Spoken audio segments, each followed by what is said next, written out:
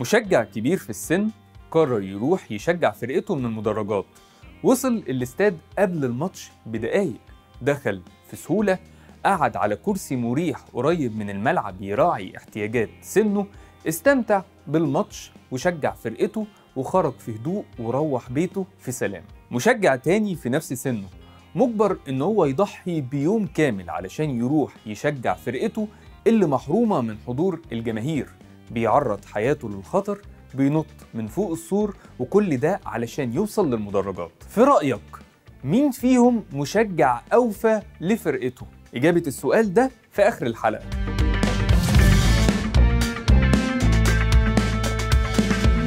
عم أمشير مشجع لغزل المحلة سنه فوق 80 سنة.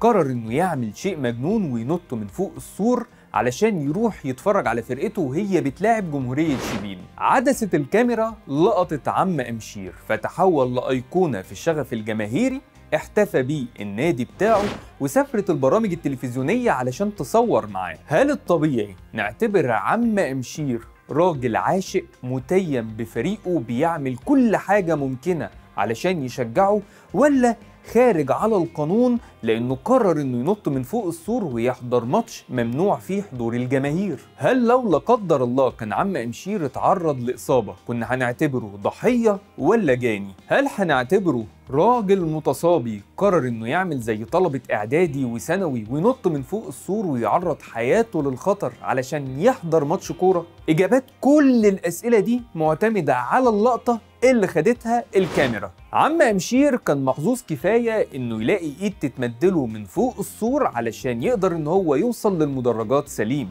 وكان محظوظ برضه إن عدسة كاميرا تلقطه فيتحول لأيقونة ويتم الاحتفاء بيه بالشكل ده. لكن على نفس السور كان في مشجع تاني كبير في السن الغزل المحلة اسمه محمد فاروق. كان ممكن يخسر حياته لأن محاولته فشلت ووقع لكن الحمد لله يعني إن هي عدت سليمة بإصابة بكسر في الحوض. وده بياخدنا لاستفسار مهم هي الكرة عندنا قيمتها في شغف الناس الكبير جدا بأنديتها ولا في احترامنا للشغف ده؟ يعني لما نيجي نفتخر بالكرة المصرية نقول شوف كم مشجع للنادي الفلاني بس يا عيني ما بيقدروش يحضروا الماتشات. ويوم لما نسمح لهم إن هم يحضروا بنوديهم آخر الدنيا ولازم يعانوا في كل خطوة لحد ما يوصلوا للمدرج.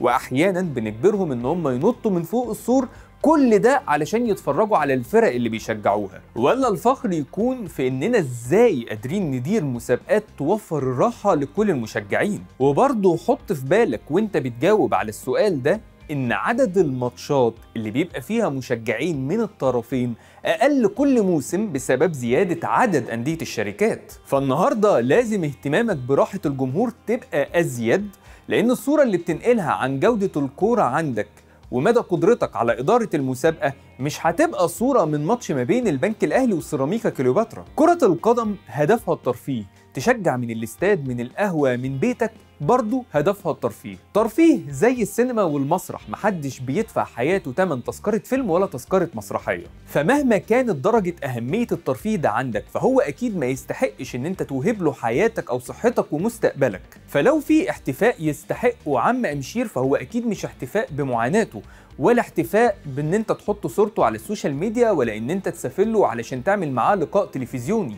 الاحتفاء يكون بقرار يحترمه ويحترم سنه. في الدوري الإنجليزي مثلا كتير من أندية الدوري بتبيع التذاكر بتاعتها بسعر مخفض لكبار السن ولذوي الهمم ومنهم اللي بيبيعها بنص الثمن كمان زي مانشستر يونايتد اللي جماهيره ملايين حوالين العالم. فلو الحضور الجماهيري ممنوع إيه المانع من حضور عدد من الجمهور من كبار السن في مقاعد مخصصة ليهم تكون مريحة وقريبة من الملعب؟ لو اعتبرنا إن إحنا لسه مش جاهزين لاستقبال الساعة الكاملة من الجمهور في المدرجات إيه نوع الخطر اللي ممكن يشكله عم أمشير وأصحابه على سير الماتشات ونزاهة المسابقة؟ الطبيعي اللي كان عم أمشير والمشجعين اللي من سنه يلاقوه هو تذاكر موسمية بأسعار مخصصة ومخفضة. الطبيعي اللي كان عم أمشير يلاقيه هو سهولة في الدخول والخروج من الاستاد. الطبيعي اللي كان عم أمشير مفروض يلاقيه هو كرسي مريح في مكان يراعي احتياجات سنه يبقى قريب من الملعب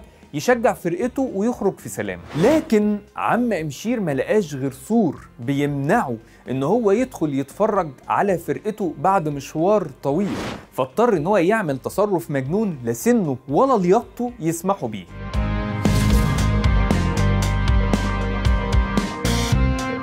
ودلوقتي بقى نقدر نجاوب على السؤال اللي كان في أول الحلقة. والحقيقة هي إن الاتنين المشجعين أوفياء وخصصوا وقت من يومهم لدعم فرقتهم وتشجيعها. ومعاناة التاني في الوصول للمدرجات ما تقللش أبدا من وفاء وإخلاص المشجع الأول لناديه. فالاتنين بنفس قدر الوفاء لفرقهم والمقارنة ما بينهم ما تنفعش. لكن المقارنة الحقيقية المفروض تبقى ما بين اللي بيديروا الكورة عند كل واحد منهم.